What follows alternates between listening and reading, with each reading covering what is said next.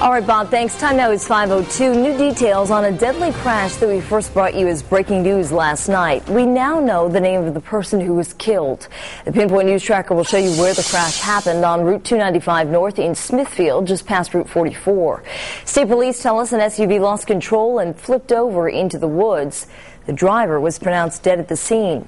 State police overnight identified the victim as Anthony Olink of Warwick, and they tell us speed appears to be a factor.